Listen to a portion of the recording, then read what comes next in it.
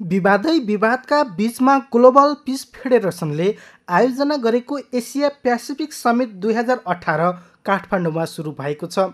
सम्मेलनको सन्दर्भमा नेपाल सरकार र राजनीतिक दलका अगुवाको भूमिकालाई लिएर आलोचना र आशंका भइरहेको बेला सम्मेलनमा विभिन्न राष्ट्र तथा सरकार प्रमुख सहित विभिन्न पैँतालिस देशका पन्ध्र सय प्रतिनिधिले भाग लिएका छन्।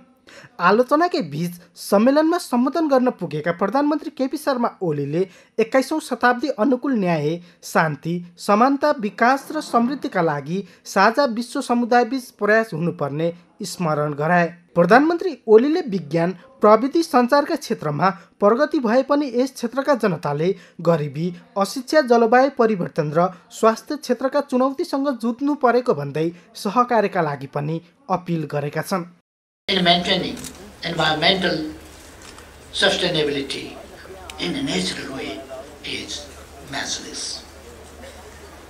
The irony is that the severest burden is felt by those who didn't commit any fault. This is unacceptable. So, we very much emphasize the need for effective implementation of climate justice.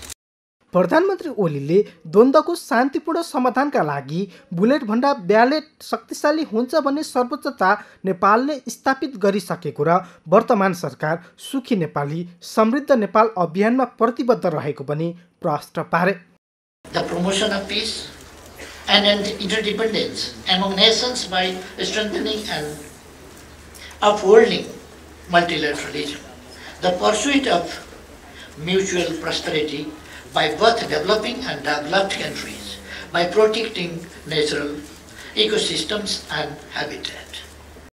सम्मेलनमा सहभागी म्यानमारकी state counsellor आङसाङ सुकीले विश्वमा दिगो विकास र शान्ति स्थापनाका लागि सहकार्यमा जोड दिँदै हरेक चुनौतीलाई अवसरका रूपमा लिई सकारात्मक सोच आवश्यक रहेको बताइन् who are dedicated to the promotion of peace, prosperity, and humanity. The world today is going through global uncertainty, trade tensions, and power competitions, especially in our region. Traditional and non-traditional threats are posing profound challenges, sometimes from unexpected directions.